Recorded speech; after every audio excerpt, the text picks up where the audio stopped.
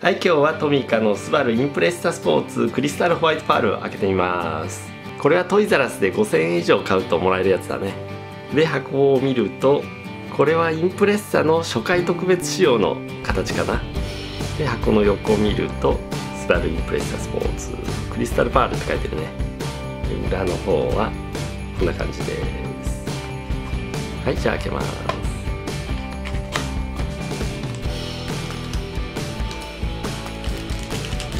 これはどんな感じになってるのかな。はい開けてみました。おこれは真っ白っていうよりやっぱり綺麗なホワイトパールだね。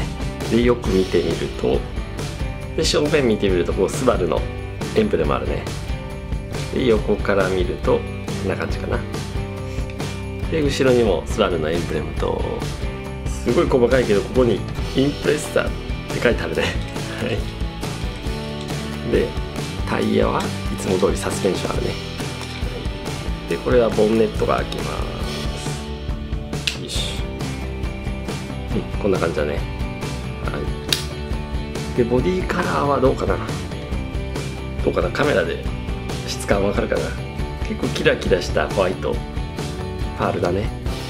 他の白い色と比べるとそうだね。こっちはパトカーの白でこっちはホワイトクリスタルパールになってます。やっぱりこっちの方がちょっとクリーム色っぽいよね。で今回トイザラスでもらったのはホワイトクリスタルパールだったけど他にレッドとかダークブルーブルーとブラックもあるのかな？全部で5種類のカラーリングがあるみたいです。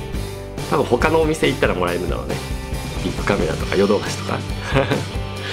ちょっと探してみたいと思います。はいじゃあ今日はこのトイザラスのプレゼントキャンペーンでもらったスバルインプレッサスポーツ。クリスタルホワイトパールでした。じゃあ他にもあと4種類あるから探してみます。じゃあおしまいです。バイバイ。